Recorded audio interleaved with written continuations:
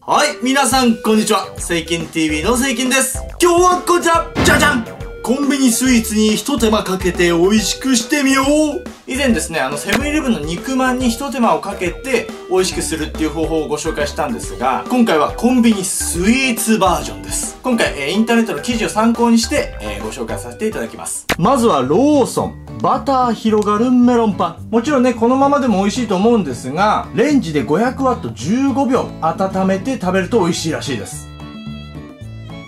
さあ、温めてきたんですが、ちょっと割ってみますかこれ。あ、あったかいあったかい。熱々です。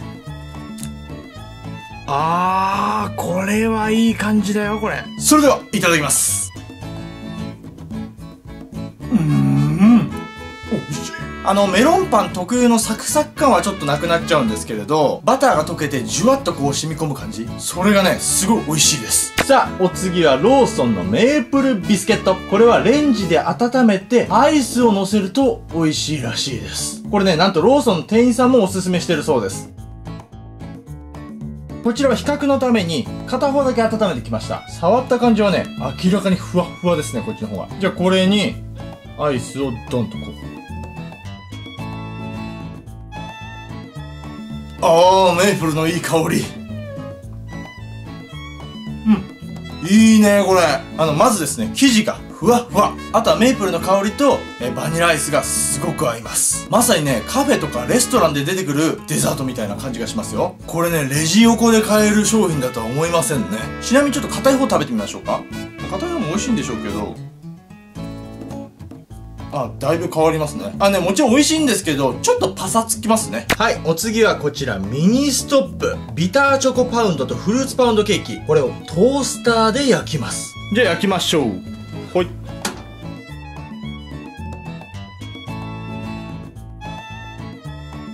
ちょっとチョコの方は分かりづらいんですけれど、フルーツパウンドの方が焼き目がついてきましたね。はい。オッケーおー、美味しそうさあ、焼き目いかがでしょうか？すごく美味しそうになりましたよ。それではフルーツパウンドからいただきます。あうわ、うわ、うまっこれめちゃくちゃ美味しいです。大体にフルーツパウンドって言うと結構しっとりしてると思うんですけれど、焼くとかなり変わりますね。表面がカリッとしてて、中はふわっと軽い感じに仕上がってます。次、えービターチョコパウンドいただきましょう。あ、うん。あの、まさに今これ焼いたやつを食べてるみたい。焼きたてっていう感じがしますね。中のチョコチップがとろけていて、すごく美味しいです。食感はフルーツパウンドと同じで、軽いですね。最後はこちら。セブンイレブンブラックガトーショコラです。えー、こちら、冷たくてももちろんすごく美味しいんですが、電子レンジで40秒ほど温めるとさらに美味しくなるそうです。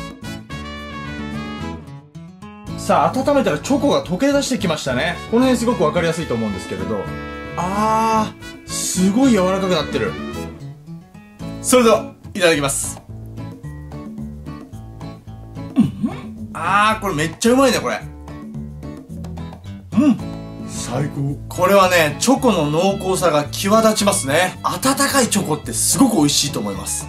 トロトロなんですよ。これに生クリームを添えたら、コース料理の最後に出せます。っていうぐらい美味しいです。はい、今日はコンビニスイーツアレンジして食べてみましたが、どれもすごく美味しかったです。えー僕最近の特におすすめは、セブンイレブンのブラックガトーショコラを温めたもの。あともう一つはローソンのメープルビスケットを温めてそれにアイスを乗せたものですね。これはね本当にお店で出せるレベルに美味しいと思います。例えば休日家にいてちょっと時間あるなんていう時はですね一手間かけてちょっとチンしたりとかトースターで焼いてみたりするだけで非常に美味しくなると思います。どれもね簡単にできますのでぜひお試しください。それではまたお会いしましょう。See you next time! 今日のことわざ。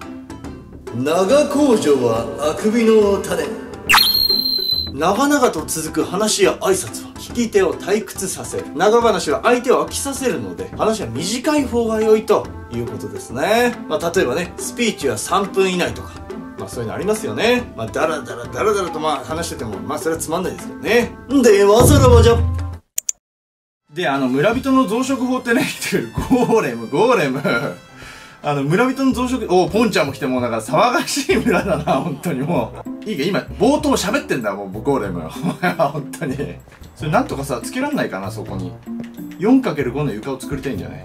さあ、あまりに僕が下手くそなので、えー、一級建築士の出番です、ここね。あれ？え？あれ？なんでゴーレム花持ってんのこれ？あれ？花を探しに行ったのかな？なんで？